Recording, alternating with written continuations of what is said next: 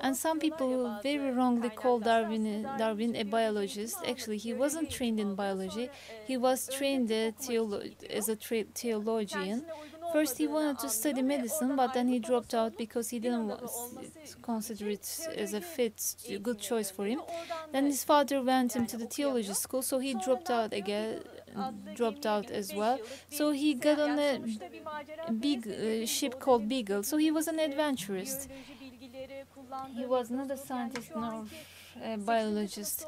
So probably he maybe an eighth grade student knows much more than Darwin could have ever known. So it's, it's just an adventurist that set off uh, with the ship.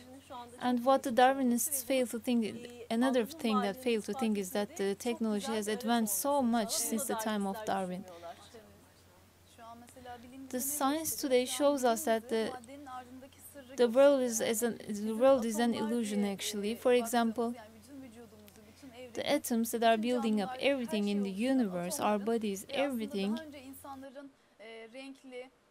belki de kokusu olan ve görüntüyü oluşturduğunu düşündükleri atomların aslında They understand that the atoms, the, this world is actually completely transparent there's no light outside, then what is colorful, where is colorful?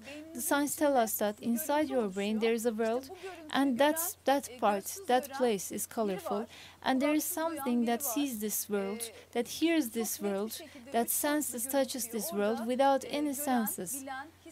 And what is this? When we ask them, what is this? Who is this? The science tells us that soul.